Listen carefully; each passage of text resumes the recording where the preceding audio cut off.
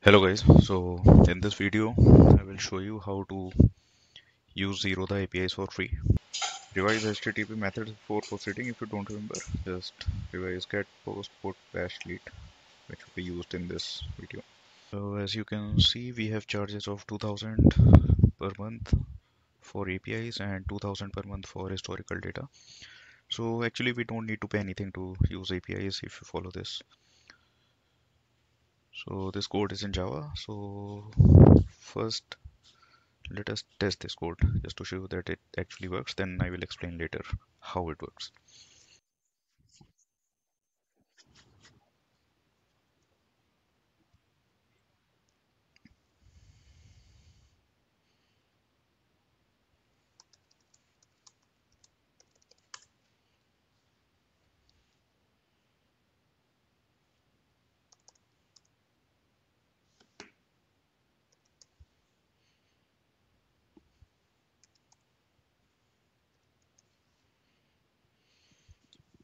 So I've logged in using our code. Okay, so there is some issue with Mac. It goes to the back. So you can see that orders are being placed continuously because we are doing so from our background thread. So the algo is able to place the order successfully but they are getting rejected because I don't have funds in this account. I don't trade with this account. This account is just for testing. So you can see that so many orders have been placed. So this shows that this method is working correctly. Okay so now let's come back to how it works. So I've logged in into Zerodha and I'm using Firefox. I will show you network calls what calls are being made so if you want to buy this one let's let me show the code. Uh, let me show the part which I did in the code. So I am placing a limit order for this quantity and let me press on buy. So it is showing me error right now because the market is not open right now. So let me show what we need to check for adding more APIs here. So you can see this is the URL for placing the order. We just need the request header that is called authorization and in the request we need variety exchange trading symbol, transaction type, order type, quantity, price, product, validity, disclosed quantity, trigger price, square off, stop loss, trailing stop loss, user ID. Now let me go to the code. So you can see from variety to user ID, variety to user ID, I've placed everything in my code. And how I'm getting the authorization header so let me explain how I'm getting the authorization header. I'm loading the kite.zerodha.com in a web view, then initiating the login flow and parsing the document return and the cookies and getting the encryption token. That is the authorization header. So let me show again how this code works. I'm going to run this code this time now. So let me add a debug point here debug point here start.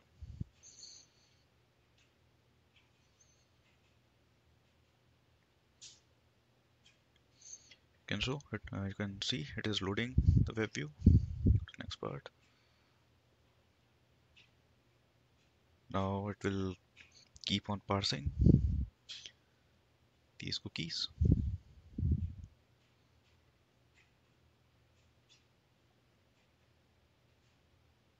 so I'm removing the debug point because it will, it will keep on doing it till it finds something. So I'm going back to this window which was created by this code. And this will keep on trying to find stuff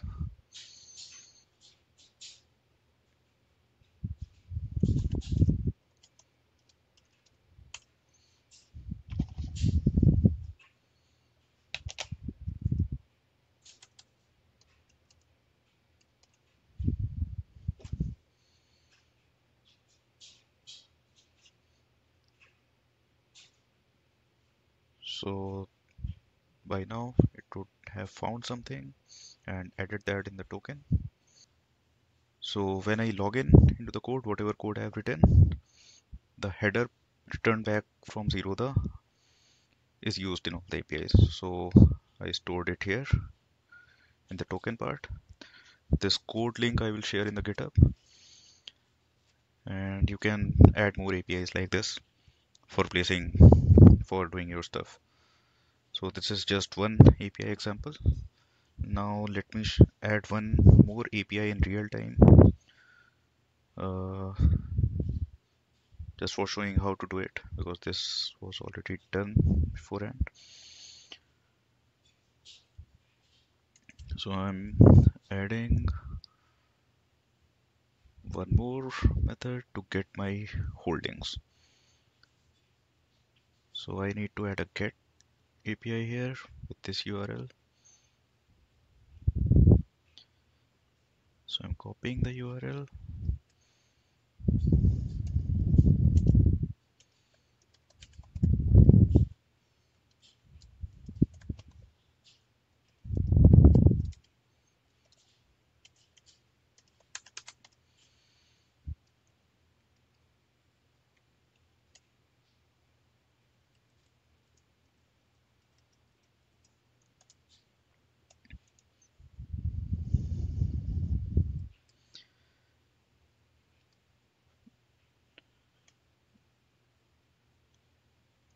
will just need this header nothing else. And the request there is nothing in the request. So in the request head headers only authorization header header is imported nothing else is needed. So in the response you can see there is no data because I have no orders. So let me show the code now. So I have added one get method here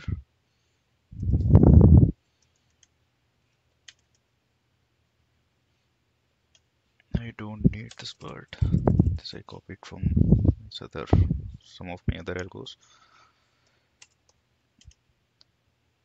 Passing the headers. Now let me run this code. I will add a debug point here just to show that I have some code and data running. So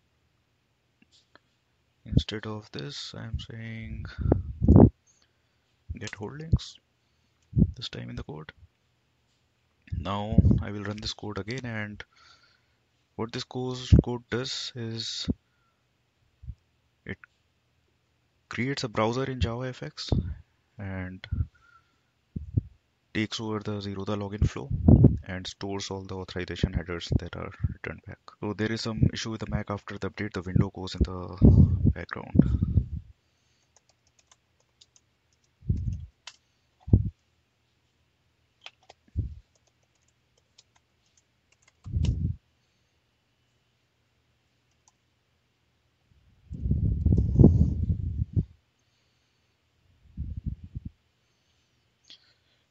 Now you can see that in the main flow I added this code and you can see the data status is success. There is no data returned in my positions. So this API works as seen in the browser response. In the response I have data. Similarly you can do any other API as your need. You can get holding position order place the orders get your current order status get profile get funds you want to do. So thanks everyone for watching. Please let me know if you want any further explanation on this. Thanks